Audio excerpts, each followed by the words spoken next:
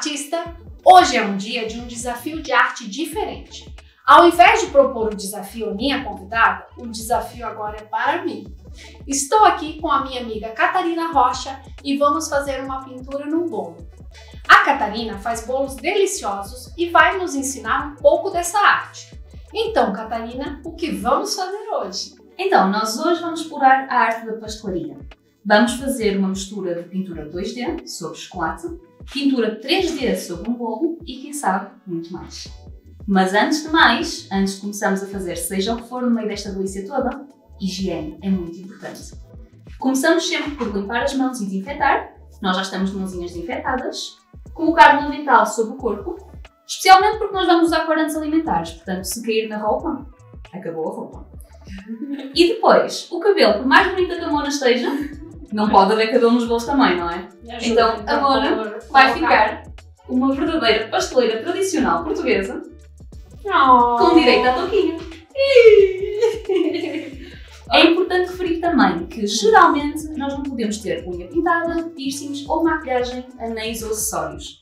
Mas visto que é um bolo para cada uma, que nós hoje vamos comer bastante, não há problema. Desde que esteja tudo desinfetado e limpo, mesa desinfetada, produtos limpinhos, está tudo bem. A Catarina já tinha preparado, já está tudo higienizado, tudo seguro, então não tem problema. Exatamente. Estou muito curiosa para saber como vai ficar a pintura, pois essa é uma pintura que eu nunca fiz. Acompanhe o vídeo para ver como vai ficar. Até já! E o que eu vou fazer, professora? Agora, a minha aluna vai pegar nas cores que ela gosta mais e colocar um bocadinho sobre um prato. Ok. Um bocadinho que você diz assim, um pinguinho mesmo, uma gotinha? Exatamente. Uma Bem, gotinha. bem pouquinho. Exatamente. Depois vamos acrescentando mais, mas estes corantes Separado. separados. Eu tô com esse pires de porcelana. Exatamente. Convém que seja uma porcelana ou pelo menos um piso que vocês não vão usar mais, porque o que vai acontecer é que se for madeira ou um prato que não tenha aquela parte vidrada, o corante vai tingir. Se fosse uma pintura, eu faria de batidinha. Uhum. É E eu consigo fazer aqui também. Exatamente. A parte interessante da pintura no bolo é que são exatamente as mesmas técnicas. De uma pintura Exatamente.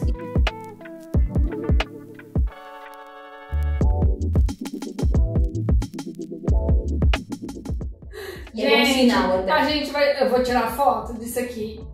Porque é muito difícil.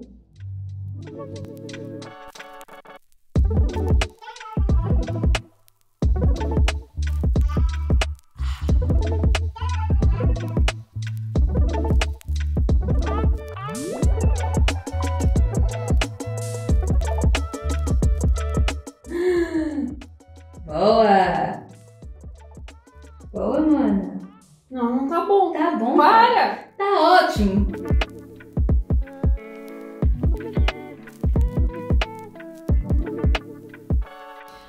Aqui está o resultado da nossa deliciosa jornada. Apesar de alguns pequenos desafios, eu fui muito bem orientada por essa excelente professora e acho que fui bem. E aí, Catarina, como eu fui? Tudo perfeito. Está ótima. Ah, não, fala a verdade. Agora vamos ver se está bom. ok. E fala um bocadinho do que, que a gente fez.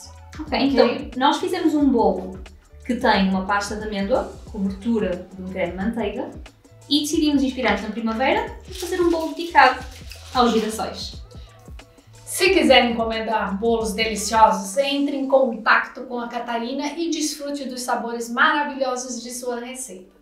Agora, se quiser aprender a pintar, entre em contato e veja no meu site todos os detalhes do meu curso online e curso presencial. Até já! Artes Mona Lisa. Artes para todos! Tchau, tchau! Beijo! Agora a gente vai comer. É!